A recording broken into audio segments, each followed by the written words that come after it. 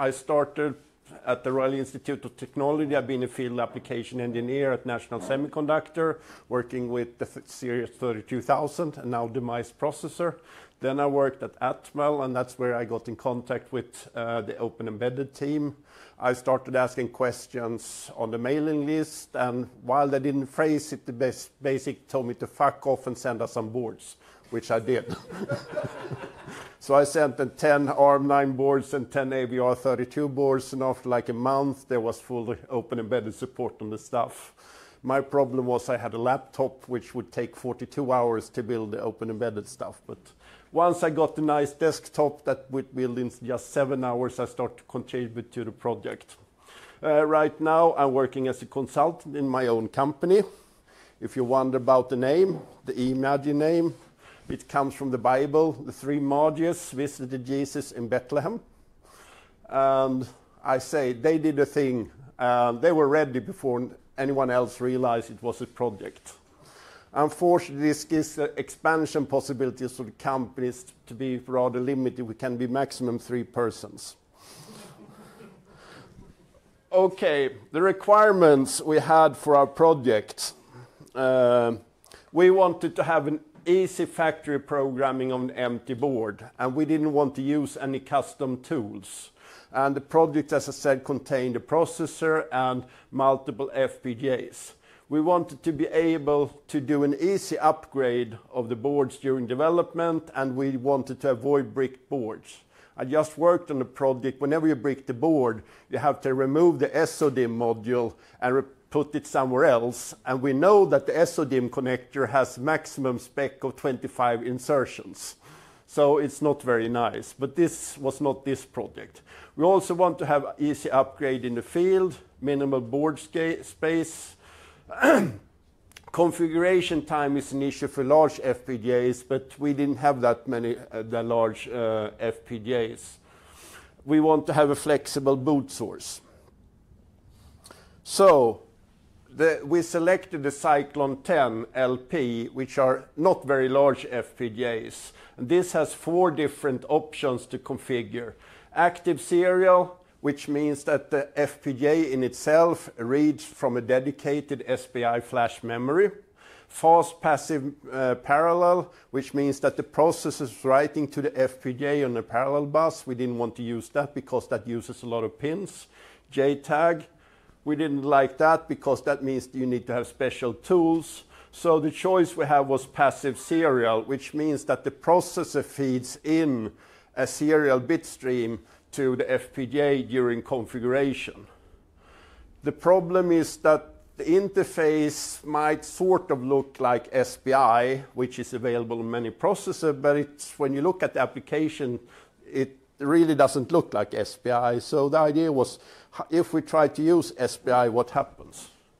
The difference you see here with SPI, you basically in SPI have a clock, you have data out, you have data in, and you have a chip select. But all the application nodes you find on these FPGAs tells you to have a data clock and a data zero. The chip has a chip select, but that's always grounded in the application nodes, which means that you have to use one SPI per FPGA. And that's not very nice because that uses a lot of pins on the processor. On top of that, you use some status pin. You have a config pin that starts configuration, then you read some status pins. And hopefully, that can be shared.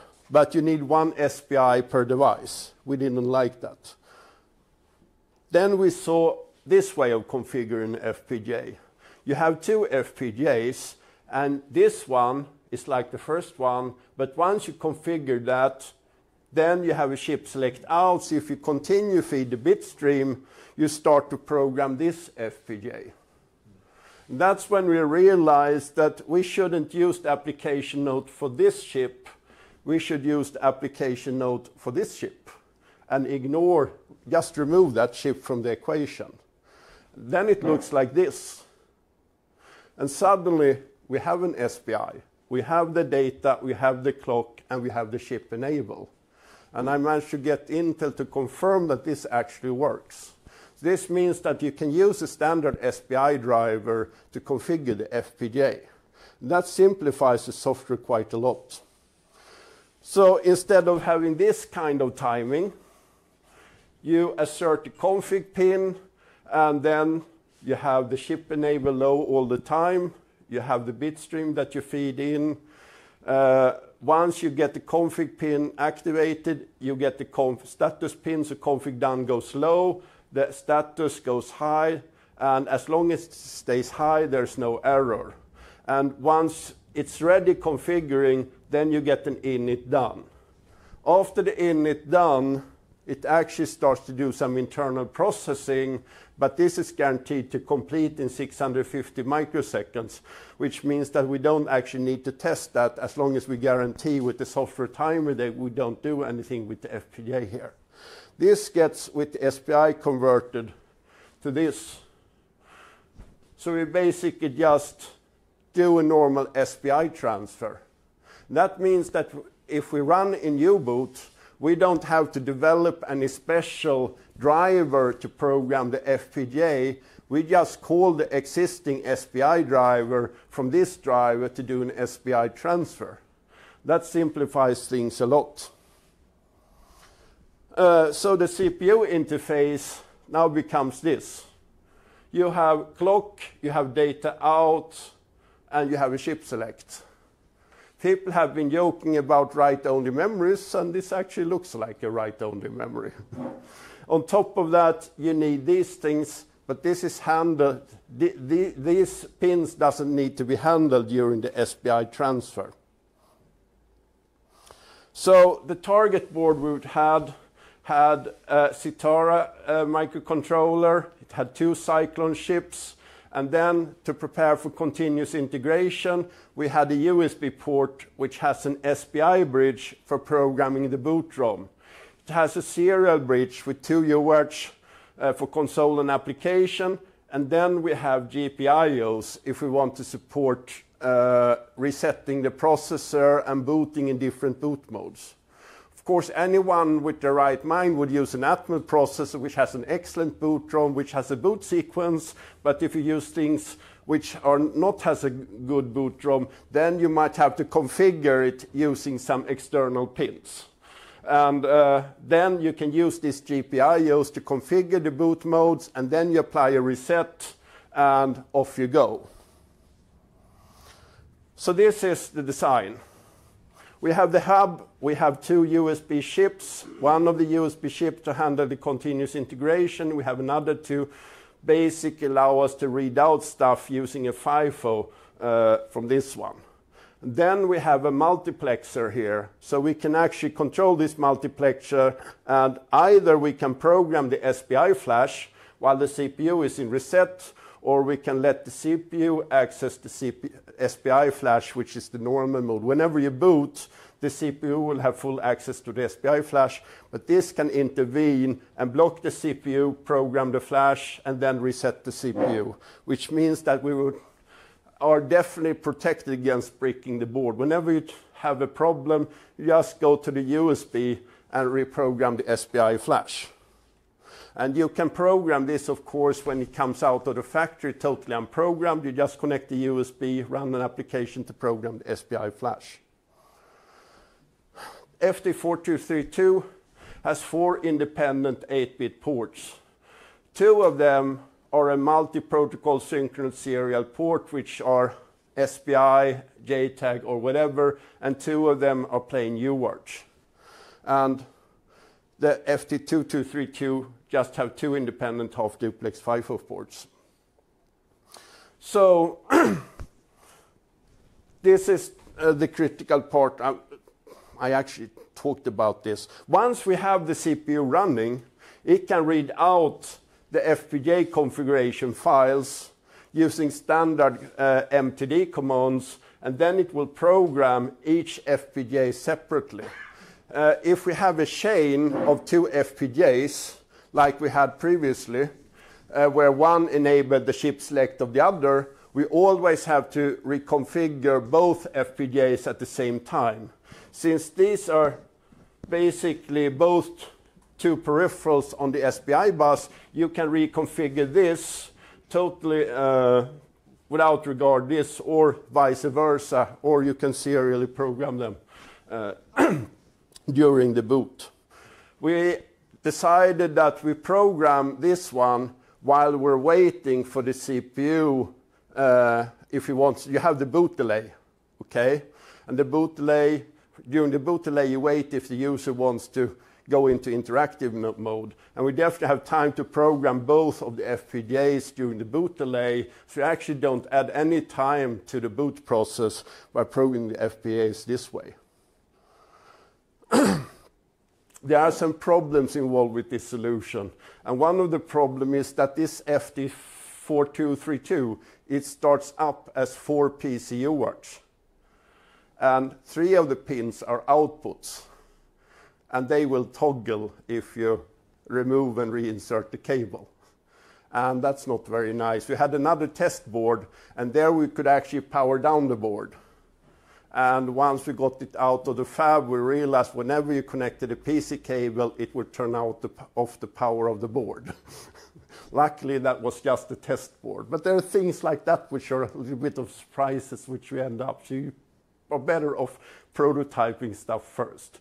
So the way to do it is to use the five inputs and to ensure they got the stable state by having external pull-up or pull-down resistors. And then you can, of course, change that on the fly by using commands.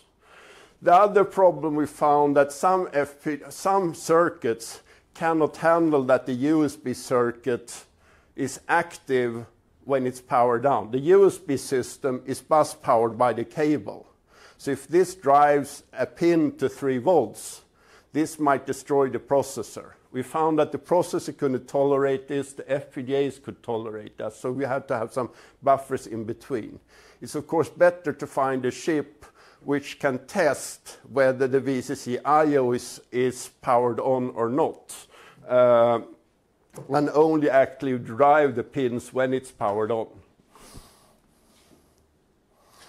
So once we have this, the way to integrate this in the system is just that you add it to the SPI part of the device trees. So you have the SPI and you define the chip selects. And two of the chip selects goes to the FPGAs, two goes to other parts. And then you add just stuff here. And then it suddenly, like magic, ends up when you list things in U-boot. So the device tree for an FPGA is basically you define the frequency, define the name, you define the config size, and then the four status pins, you define which GPIO they're active on. And after that, you're free to use the FPGAs. The modifications in U-boots are not that uh, much. Basically, MTD ABI.H, you define a new class of MTD, I called it MTD FPGA, and the capabilities as if you can write to the FPGA, but you cannot erase it. That makes it the write-only memory. You add a small kconfig config and add it to the make file, and then a simple driver will do.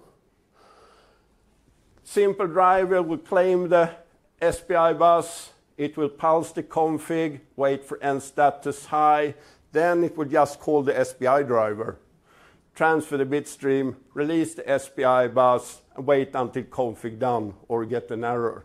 So the driver is extremely simple to do this uh, because it's using the SPI driver.